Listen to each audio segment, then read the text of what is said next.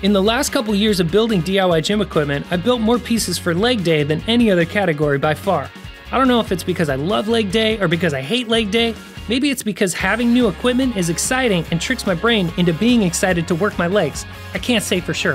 What I do know is that these are awesome to have around the gym.